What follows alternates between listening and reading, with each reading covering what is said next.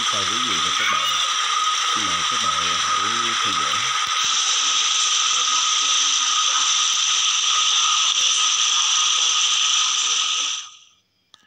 Xin mời quý vị và các bạn hãy cùng thư giãn với Hiến Trung. Hôm nay Hiến Trung sẽ cho các bạn xem à, khúc thư giãn à, cùng với à, đàn cá thân yêu nhé.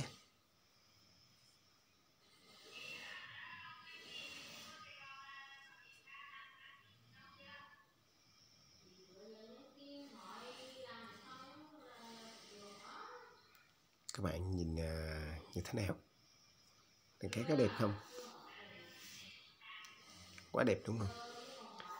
Mình uh, bắt đầu mình sẽ rờ cá cho các bạn xem nhé. Chuẩn bị nè.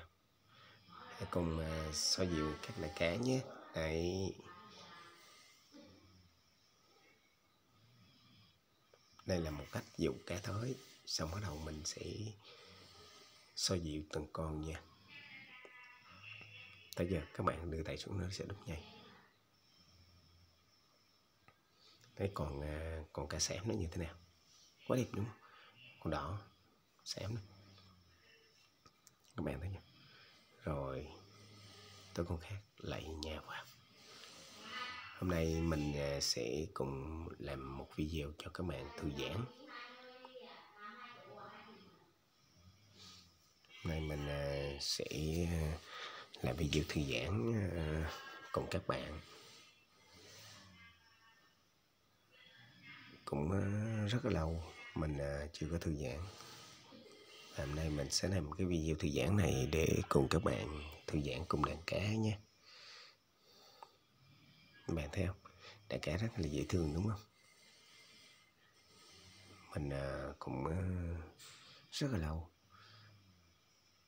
mới à, thư giãn à, cùng đàn cá.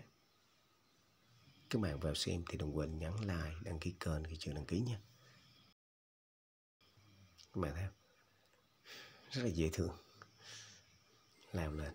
Còn nào cũng muốn nhào lên đó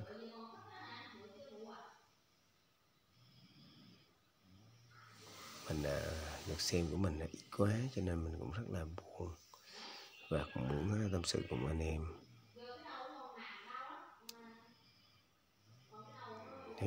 Cái gì quá gì thường, đúng không?